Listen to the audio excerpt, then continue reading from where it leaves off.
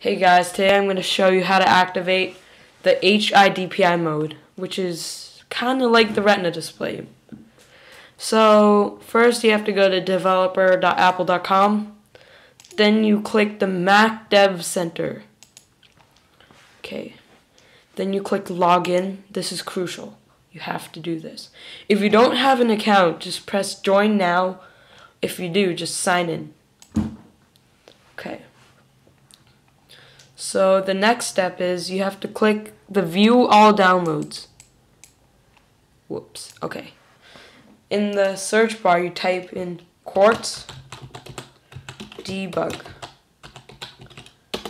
This is like the graphics tools. So just download, click this link right here and download it. The file is 118 megabytes, so it's it's okay. Since I already have it, I'll just open it and show you the next step. Okay, so Quartz debug. The next, the this step is like cool, I guess. So you press Window, then UI resolution. Then you check the Enable HIDPI mo display modes. Check it, then you press log out. But since I already did this, I'll just press Continue. Okay, now quit it. You should be logged out right now, but the next step is you have to open System Preferences.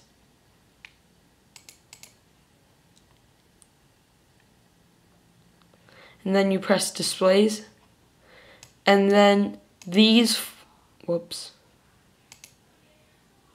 these four new resolutions would pop up. Or at least these two will. So, that's it. You click on it then it changes your resolution. Thanks for watching. Please rate, subscribe, and comment.